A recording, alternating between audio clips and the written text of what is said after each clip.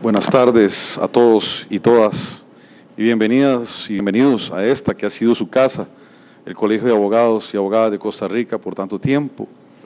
Eh, para nosotros es un placer tenerlos hoy acá en esta celebración tan importante como lo es el Día de San Ivo y hacer un caluroso saludo especial a nuestros queridos eh, compañeros y compañeras que cumplen hoy 25 años y 50 años y saludar especialmente eh, a nuestro expresidente de la República, Miguel Ángel Rodríguez, que nos acompaña, al magistrado don Paul Rueda, al ex vicepresidente de la Corte, don Rodrigo, que está con nosotros también, don Luis Fernando, y a todas y cada uno de ustedes que nos acompaña a nombre de la Junta Directiva que represento. En primer lugar, me corresponde y tengo el honor de otorgar el premio al abogado distinguido del año 2017 previo a hacerles el reconocimiento a ustedes por sus 25 y 50 años de ejercicio profesional. Después de una ardua labor, porque todos los candidatos tenían que ser abogados distinguidos de 2017, y así como todos los profesionales de este país son abogados distinguidos del año 2017, teníamos que escoger uno, uno que participara en el concurso, que fuera nominado por sus colegas, por sus pares, y nosotros tomara esa decisión. Es difícil, porque cuando tenemos 27.200 abogados por todo el país peleando y luchando todos los días por un mundo mejor, por defender a sus clientes, por representar la justicia de la mejor forma posible, nos es muy difícil escoger solo a uno. Pero así son las reglas del juego y alguien tiene que resultar ganador. Y para mí hoy, y para la Junta que represento, es un honor que esa persona o que esa distinción haya recaído en nuestro querido amigo, don Álvaro Burgos, a quienes por favor les pido un aplauso.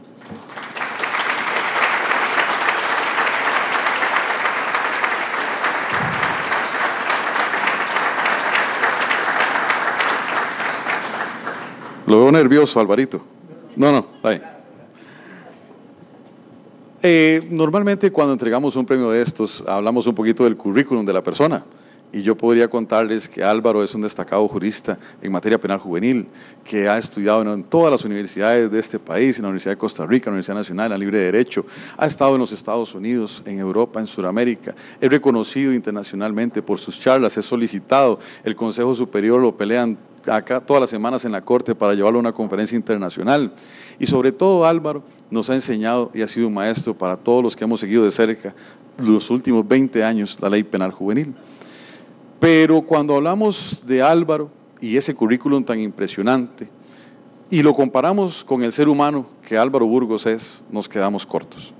Es decir, que todos sus logros monumentales como profesor, como maestro, como abogado, como juez, no se compara a sus logros como amigo, como padre, como compañero, como empleado judicial, y aquí con su hermosa familia, que no me deja mentir, que están todos con lágrimas en los ojos.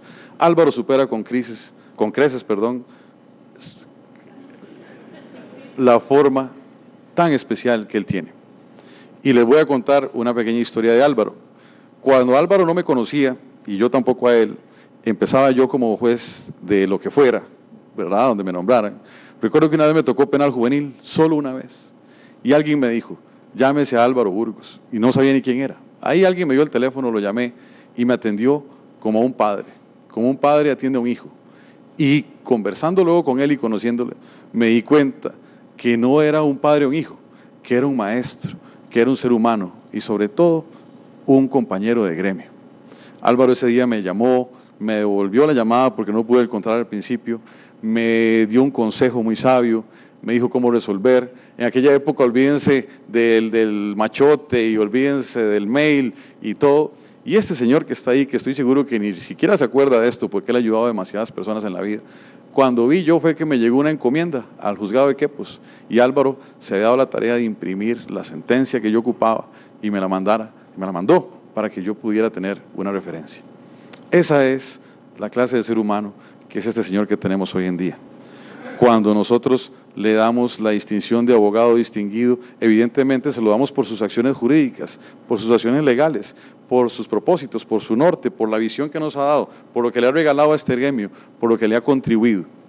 Pero también tenemos que reconocer a ese ser humano, a esa persona que siempre tiende la mano, a esa persona que siempre está dispuesta a dar un consejo, que no importa la hora, el momento, el cansancio, que rara vez tiene un no y cuando lo ha tenido es porque su familia evidentemente lo ha necesitado y ha tenido, hemos tenido que prescindir de él. Pero Álvaro va más allá y Álvaro está comprometido con la institución en la que trabaja y con esta institución que hoy lo premia. Cuando a Álvaro se le llama para un curso, él no pregunta a dónde es, ni cuántos son, ni cuántos alumnos voy a tener. Álvaro nada más pregunta a qué hora tengo que llegar, a qué hora me voy. Álvaro, la contribución que le has dado a este colegio es enorme. La contribución que le has dado a nuestro derecho penal juvenil no tiene precio. La contribución que le has dado al Poder Judicial como juez durante todo este tiempo es impensable, no tiene cómo medirse. La contribución que le diste a tu cantón como hijo predilecto de Goicoechea no tiene precio, pero la contribución que le has dado como ser humano a todos nosotros, el ejemplo, la lucha, la tenacidad y la honestidad, eso no tiene ningún valor más que seguir tus pasos y tratar con tu ejemplo de igualarte cada día y sobre todo el ejemplo que le has dado a tu, esposa, a tus hijos, a tu familia y a todas las personas que están cerca tuyo, eso sí tiene un precio que es recompensado por Dios en el cielo. Álvaro, te felicito a nombre de toda la Junta Directiva y este premio que te va a otorgar nuestra compañera Chile Víquez, presidente de la comisión que te escogió como abogado distinguido, es el pequeño merecimiento que te damos hoy del gran cariño, del gran aprecio y la admiración que te tenemos. Muchas gracias. Felicidades. Pasad aquí enfrente, por favor.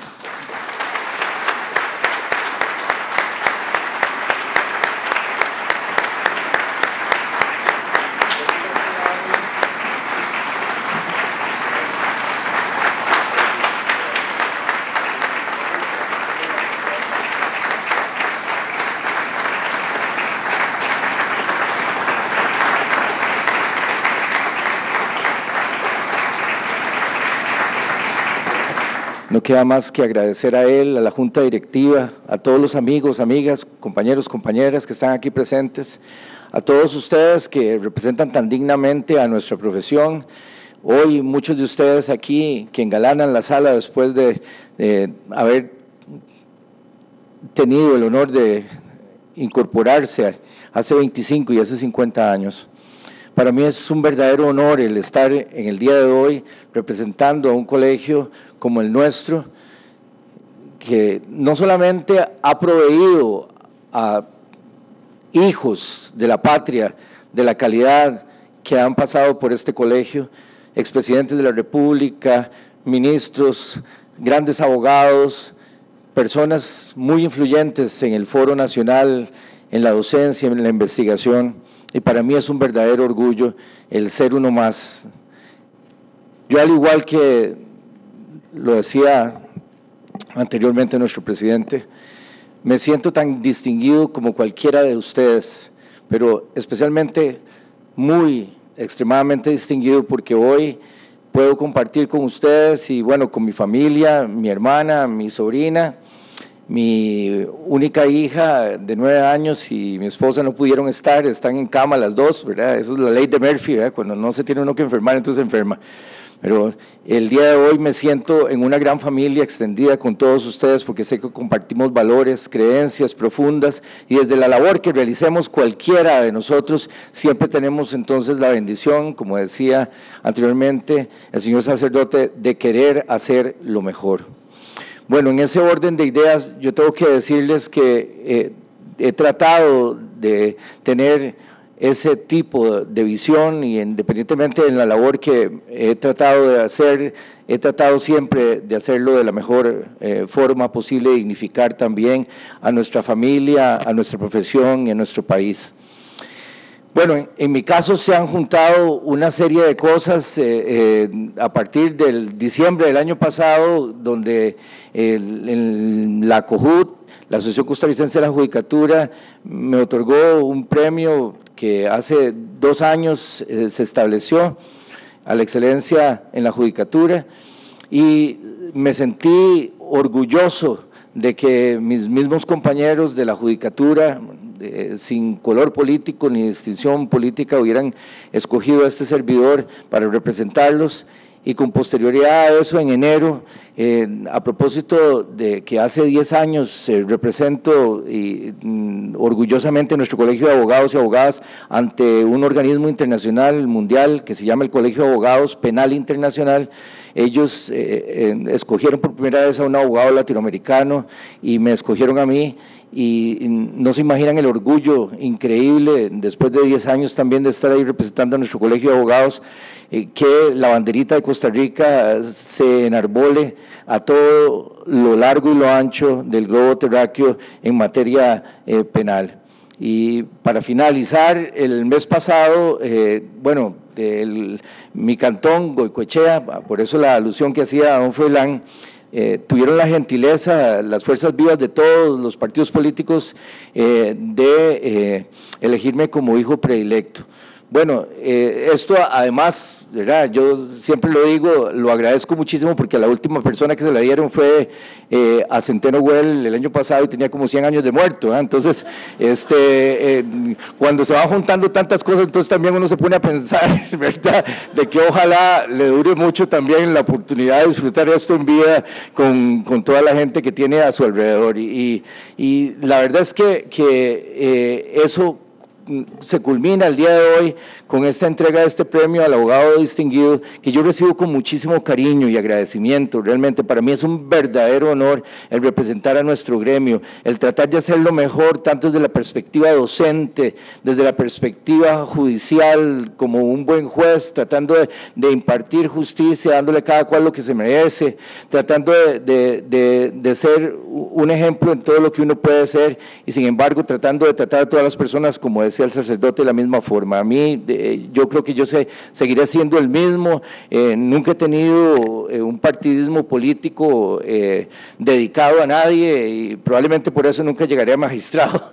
Este, ustedes saben que ahí difícilmente se llega cuando uno no ha tenido contacto de ninguna forma político, pero bueno, uno no puede decir de esa buena beberé, ¿verdad? Pero yo la veo, este, como dicen los dominicanos, feo para la foto, ¿verdad? Porque los que tenemos este otro tipo de perfil alejado de las cuestiones políticas difícilmente lo tienen.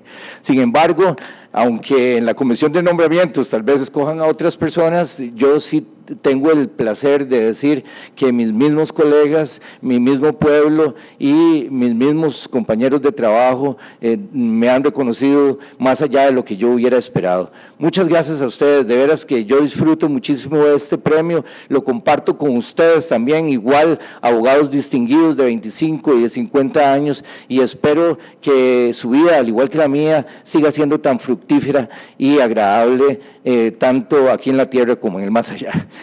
Bendiciones a todos ustedes y solamente decir que me siento muy satisfecho de un Frailán. No creo que haya sido un lapsus lingüe, ¿verdad? El asunto de,